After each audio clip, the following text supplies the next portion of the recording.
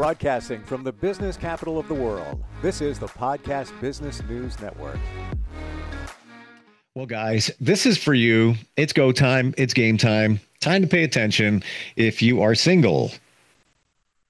I'm not saying that I'm trying to set you up with her. I'm saying that she is an, an amazing relationship coach, a dating expert, and can help you move forward in, in your goal of finding somebody maybe special.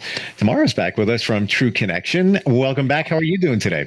Hi, great to be here. Really excited about this topic. Yeah, so we're going to talk about conscious dating. And you told me this seconds before we started. Got to be honest, I'm not really sure what that is. I'm really not. Yeah. Well, people aren't really talking about it. I haven't yet found another dating coach talking about this. And really, it can, once you embrace the concept, it can save you months, if not years of time. I mean, we've all been in relationships where we stayed too long because we believed in their potential or we loved them we were madly in love. And so we just thought, oh, we can work this out, or I can work through this deal breaker. And then, of course, that never materializes. So we've all learned the hard lesson. We just didn't know what to do with the information. I'm going to press the pause button right there before we even get into this topic because you sparked something. And I'm going to throw it to you and I'm going to throw it to me. You go first.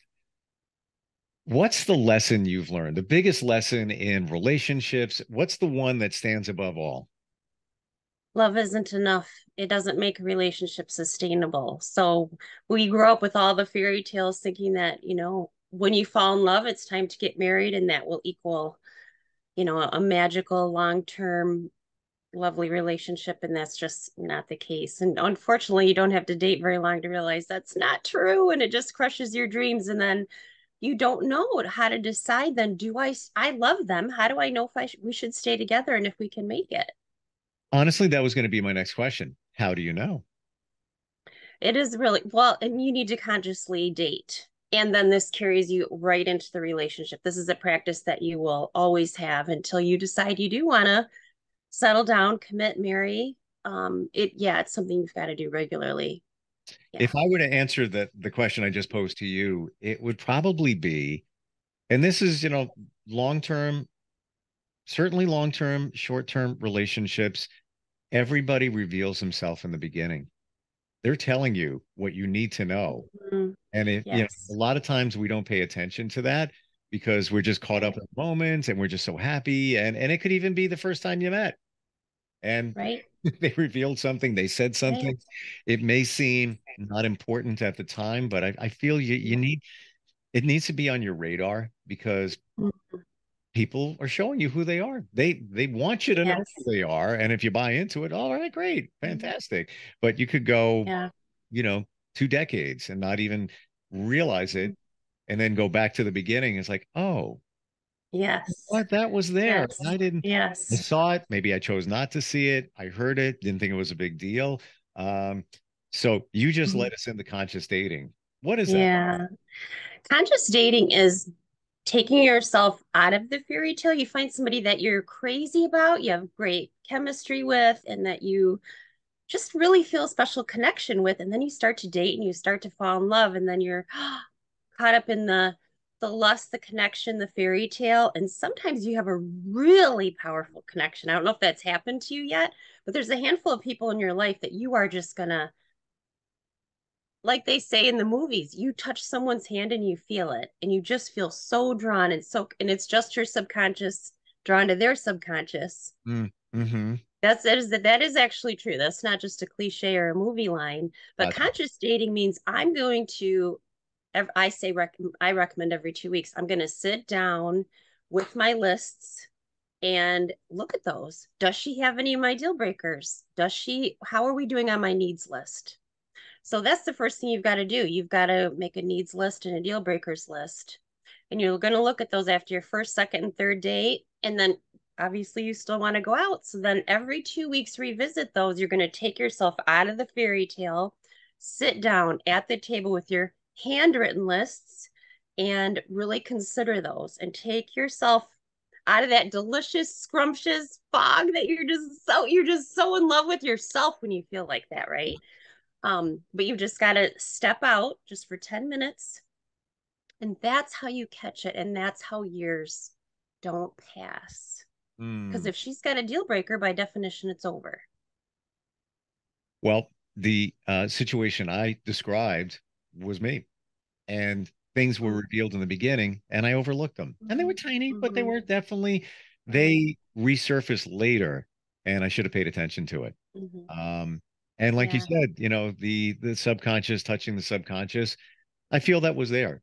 It definitely was there, but there was a lot of other things there that weren't revealed. Well, yes, they were.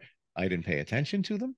Um, what if what if you're consciously dating somebody mm-hmm. and you you have your your checklist could be you know could be a physical checklist mm-hmm. doesn't hurt um yeah and just about everything is is yeah that's good that's good that's good mm-hmm. i don't want to say deal breaker i want to say that's a challenge at the moment mm-hmm. challenge and that doesn't mean challenges can't be overcome doesn't mean that person can't right. overcome their challenges but what about right. if you have a couple there um how do you how do you process that how do you mm-hmm. move around that I think it really comes down to knowing what your needs are because we all have different ones and different deal breakers depending on where we're at in our life, our age, you know, if you have children, your location, your just your goals, your career plans. I think you've got to know your own gifts and your own weaknesses and what you can tolerate and not tolerate. And your subconscious is going to tell you that, right? It's going to, you're going to get triggered you're going to get you know really upset or just struggle with it and you know like if you have poor communication skills for instance you can talk to a coach or a therapist about that and that's a skill that you can learn sure. it's just that the difference is if the person sitting there with you is saying I don't want to work on that. They storm out of the house, they walk out of the room, there's yelling. There you have to just offer them the option if they choose not to participate with you in learning that and becoming more connected in that way I mean, you really can't go forward from there. When someone doesn't, when people present themselves, just like you said, you have to believe them. And isn't it interesting that so many of us don't leave relationships? There's many different, yeah. You know, yes. to be invested in it, uh, the house, the kids, mm-hmm. whatever it might be, mm-hmm. uh, because we don't feel strong enough. We don't feel we, mm-hmm. we can do it. And it's known dating once you go back out there is completely unknown i think a lot of for a lot of people it's time invested and even though it's not what you want it to be it's still comfortable and so it's really hard to it, it just takes a long time for people to step out so conscious dating when you're sitting and you're looking i made this deal breaker list and this is have to haves this is not i wish she golfed you know this, these are really critical things that you these are have to haves yep if she has one, I don't care if you want to rip her clothes off. She's gorgeous. You just can't wait to see her again. It's not sustainable. And, and the truth is, you want to treasure your own time and respect hers too. You know, when you're doing conscious dating, that it's not going to last. So, why would you keep dating her? Because you're hurting her then. She's getting closer and closer to you. You're getting more and more connected to her. Then it's harder to let go and in the meantime you're not doing other things you or seeing other women that maybe could be a better match for you mm, exactly where you you're focused here energetically you can't receive mm-hmm. somebody else um right. i find even talking to friends uh a lot of guys like to have and this is for the guys so you know tra- transparency guys let's go admit it um guys like to have women floating out there mm-hmm. knowing that they're they're the guy is on their radar, even if they're mm-hmm. like three or whatever. Um, it's an ego boost, whatever it might be, but a lot of guys do that. A lot of guys do that. Yeah. Yeah. For you, let's say you you got out of a long-term relationship, you started dating.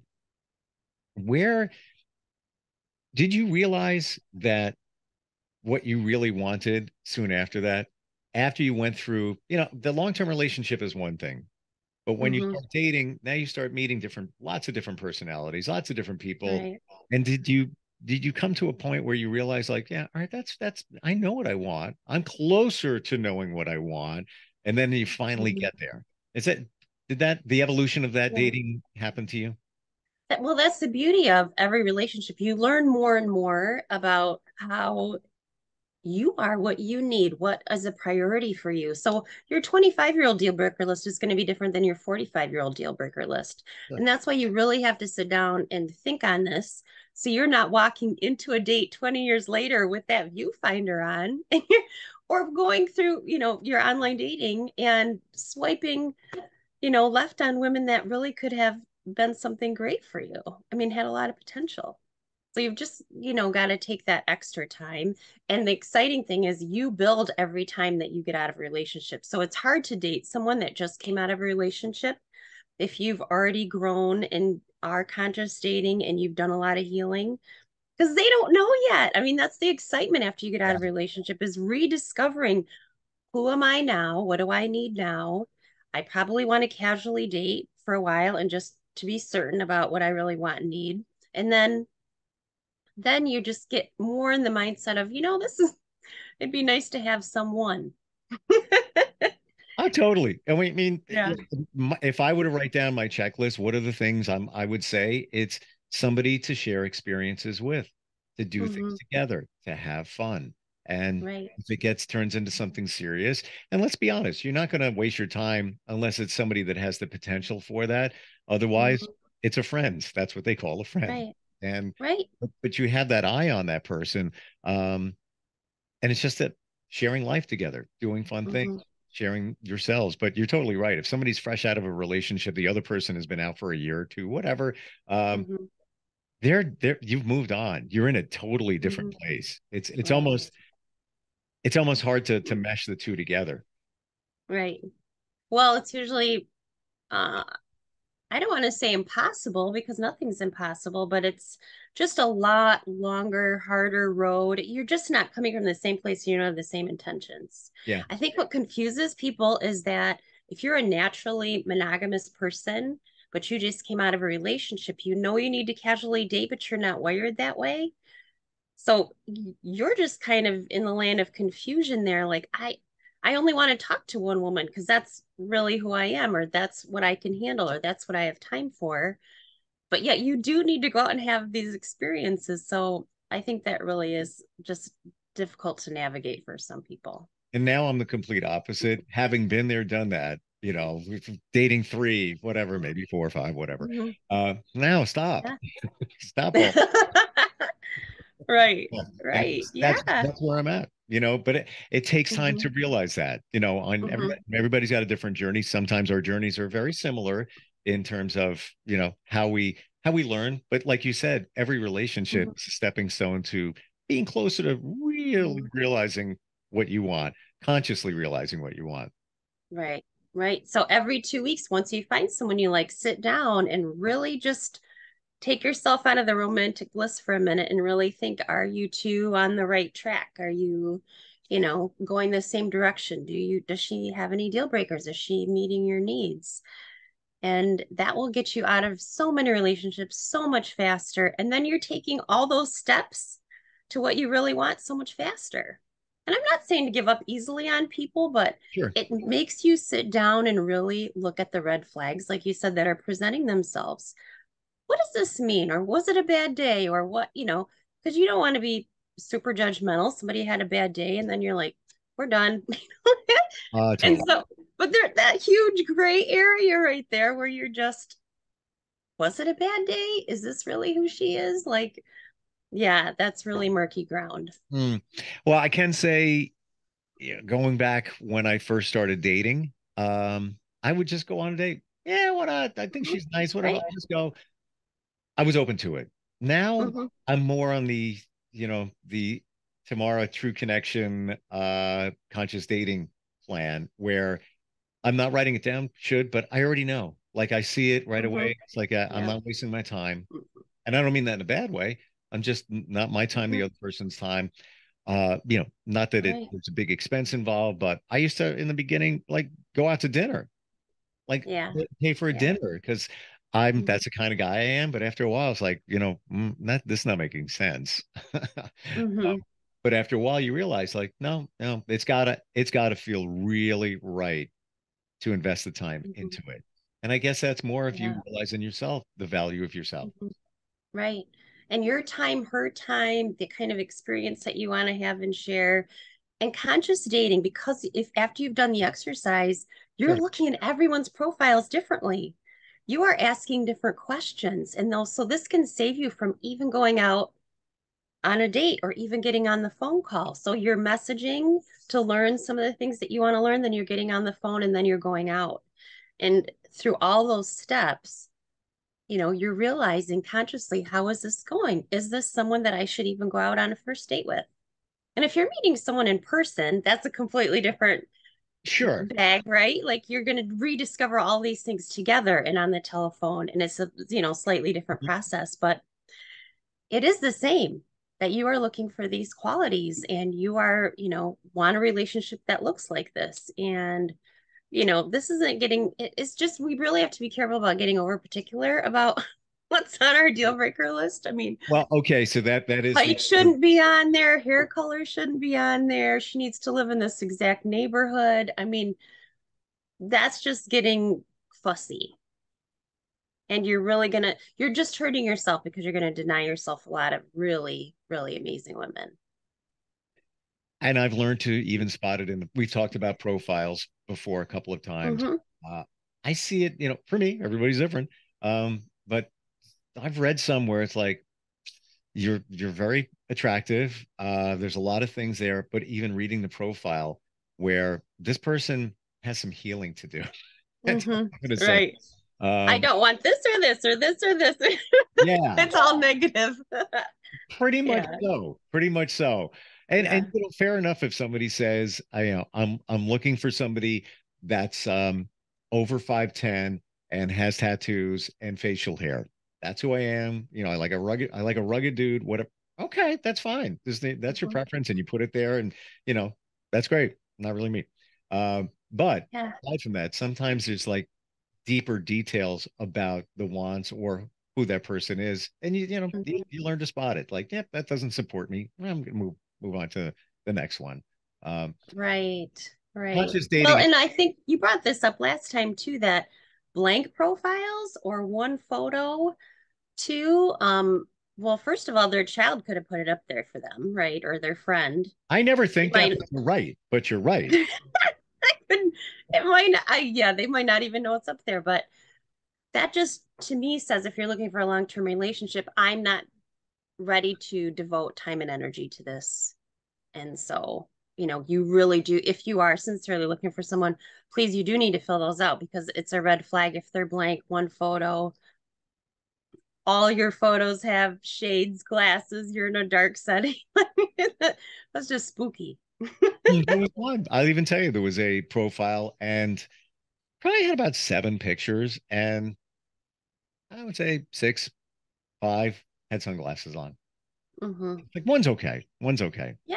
But yeah. past that, uh, and then then you find the people that um, you know they'll put their their name. You know, sometimes you don't put your name up, uh, which is fine. Just you know, if you want to be a little uh, confidential, but when it when it says just looking or like, come on, what do you expect to get? Like, right, right. Someone else that's just shopping. That you know what? Yeah, that's exactly right. You put out there what you're you put out what you're going to get, and that's what it is. Somebody's just window. Right. So right. on the conscious dating, any other any other thoughts, any other tips with that? And, and I totally agree with you. Don't make it so confining. You know, hair color, mm-hmm. like all of that. Mm-hmm. Sure. Right. Well, and I think this is a simple concept, but it's something that so few people people are doing, and this really can be life changing. Really, just sitting down and taking the time. This is your life we're talking about. And if you have children, this is your children's lives, and this is can impact your career. I mean, everything is impacted by a relationship. So if you are staying with someone when they have deal breakers, you are hurting everyone around you, not just you.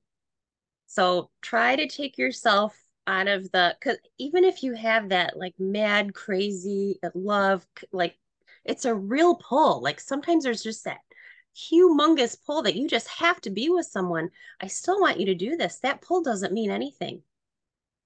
I've had probably three really really strong pulls in my life. They didn't work out.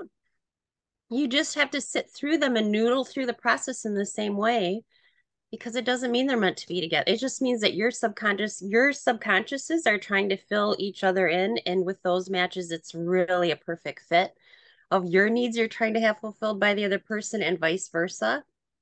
And of course, our subconscious mind is driving the bus 95% plus of the time. So you've got to manage that, that dude. you, to, you need to take over the bus once in a while. Do you think, or you mentioned three, where looked like that, you know, this could be mm-hmm. it, each one of them. Mm-hmm. Did you have a slight gut feeling that maybe not, but uh, there's a lot of good here? Mm-hmm. Maybe not. Mm-hmm. What, Absolutely. Did you, did you, really? I always did.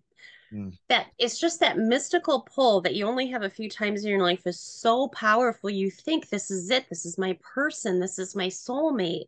Yeah. And you do get really like your mind goes right to the soulmate category. We're so connected. We really understand each other. We really, yes, because you're filling each other's needs, but that doesn't mean that that's healthy or sustainable or something that you actually want. But those are the people that, bam, they're engaged in 30 days because they really feel so certain that they found their person.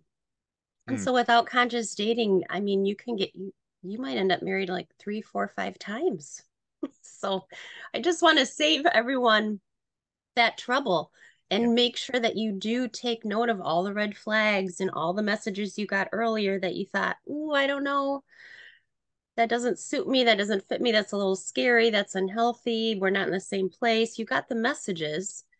Just make sure that you're really receiving them. Let's go back to the subconscious for a second. So, you know, our subconscious, you have two people here's their subconscious mm-hmm. and you say they complement each other so is one person's subconscious looking for something and they find it in the other and then that now they mm-hmm. have that connection um, which could be yes. fantastic it may not be everything that they're looking for but there's a lot there's a lot there more than let's say other connections mm-hmm. have been is that how it really works with the subconscious but it's it's a lot of times driven out of pain so I have daddy issues, you have mommy issues, and now we're both in mutual pain together because that's not appropriate. That's wildly unhealthy to expect your partner to fill your parents' issues and what you didn't have in your upbringing and try to fill the voids that you have in your relationship with them now. That's all personal healing. And but that's why they feel like home. That's why it feels so comforting. That's why it feels like a really close connection that you you just you can't let go you feel like you can't let go of course you can but that's where conscious dating comes in is you can just pry that apart a little bit and go okay what's on my lists and then mm. go hmm. forward from there yeah you've got to take yourself out of it that really is we're seeking to heal but that's not the responsibility of our partner then we get into codependency and we get into a lot of other really what you just said is so clear and so that that that is the most important thing i think we've ever talked about ring the Tamara bell right there mm-hmm. Bing. it is it is because if you it haven't is. healed that's what you're going to get and i'll share we have a minute left but i know somebody um who did and does just what you you said and uh mm-hmm. got out of a relationship her father left the family when she was very young and didn't have a relationship with her father until probably in her 30s. And now she's in her upper 40s and would bounce between different guys very quickly. Like, mm-hmm. you know, maybe the rest of us a little more selective would just meet another, meet another, meet another. Wound up with a guy who looks just like mm. her father, spitting yeah. it unbelievable. Yeah. Same, wow. same uh, ethnic background, same hobbies, same everything. Wow. And just trying to fill that void. Trying to fill that void and uh, doesn't realize it. But you know, there you go. Just, right, right. It's all subconscious. She doesn't know she's doing it. Yeah. Yeah. It is. And so that's why we have to really take that 5% that we have and try to make a full use of that 5% that we have where we live consciously and really make sure because until she starts to heal that relationship is going to be living out of an unhealthy back and forth where they're just trying to you know heal Make with it- each other. make it work. We're trying to make it work. Yeah. And Right. just what you said, maybe, you know, the guy has mom issues. And just what you said was fantastic. How that just kind of that all all the pieces that were missing that they didn't heal from, and it's just an example, came together, but it's not a real solid relationship. It's just, you know, Right. it's it's probably not, you know, uh, a strong, lasting one. Uh Right. I'm glad right. we talked that- about this. yeah. I really am. yeah, isn't it? And I just, it's just critical. And of all the things, like when I'm on a TED talk, this is going to be the topic.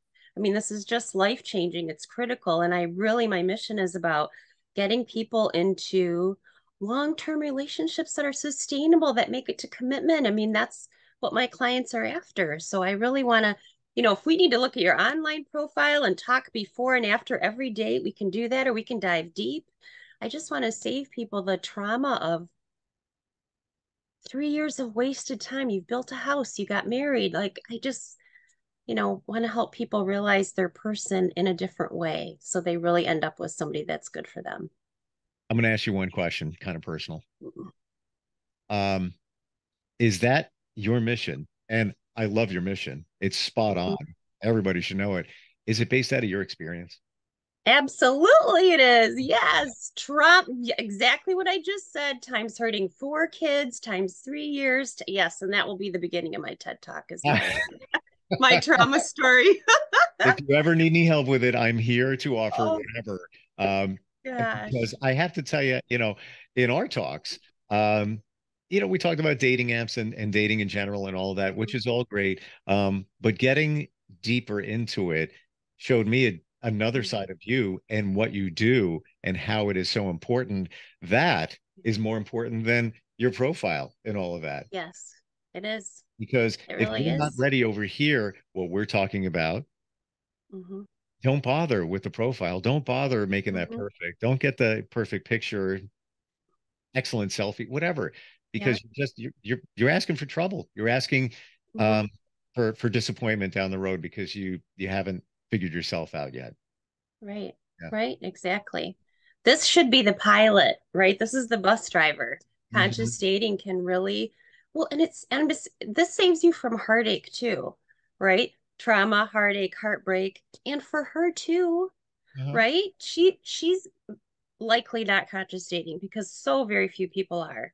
So that means that between the two of you, you're going to keep going on because you love each other. Then you don't want to give up because it's been so long and you your children are connected and you have all these traditions and memories and you know, so yeah, it's fabulous, but you still don't belong together.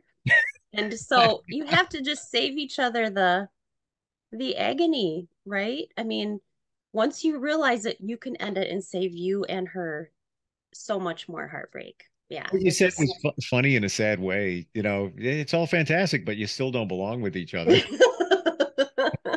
right? Uh, love our talk. Sad but true. How do, yes. How do we find you? How do we connect with you? You, you can find me on Instagram at Tamara, T A M A R A, True Connection, or my website is trueconnection.coach, C O A C H.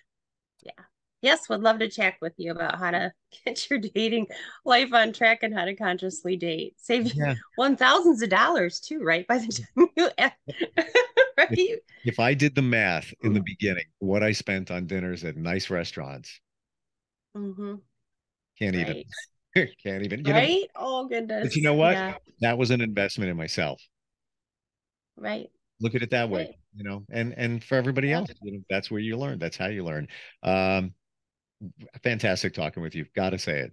Yeah, thanks, Steve. So great to be here again. Yeah, and uh, look forward next time. And even in the beginning, when you said we're going to talk about conscious dating, I'm going to be honest. I'm like, what's that going to be? This, this I, didn't, I didn't know Yeah. that was called, but it's so important. Yeah. So uh, yeah, for anybody looking Yeah. to guys, come on, be honest. This will save this concept will save your life. It's simple but life changing. It it it sounds simple, but it is life changing. Thank you so much. Yeah, great. Thanks for having me, Steve. Talk to you next week. Yep, we'll be right back.